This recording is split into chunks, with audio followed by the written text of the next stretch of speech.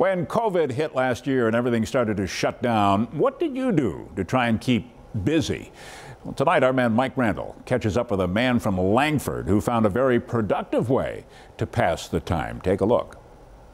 Corey Winter of Langford needed a barn to replace the one he lost. Well, back in April after the, uh, the snow melted last year, I had a barn out back and uh, it decided to fall down. He never built a barn before, but that didn't stop him. Just decided to one day just uh, build a barn. Last May, he set to work. No blueprints, no nothing, top of your head. With some help from his uncle. My uncle Nelson and I, 79 year old uncle, here every day with me. Corey's wife, Mare, documented the process. So I just started taking pictures every day, every step of the way. I think right now we have over 500 photos. Corey spent a lot of time out here every day after work since May.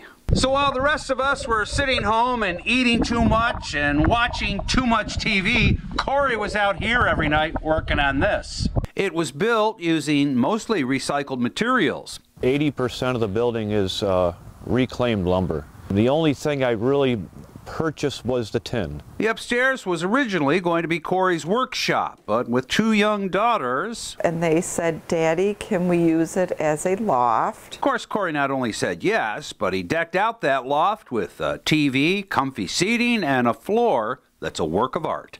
For a month, every night after work, the weekends, I, I planed the whole entire floor. I burned the whole entire floor, screwed it down, and then and then uh, my Mare and, uh, and, the, and the girls, they clear coated it. The place is cozy warm, courtesy of a wood stove. Corey made that, too. Just throw wood in there and away you go. Takes a special individual to tackle something they've never done before and do it so well. You know, there were many times at nighttime he would say, I can't believe I'm building this. And I would look at him and say, I can believe you're building it. In Langford, Mike Randall, 7 Eyewitness News.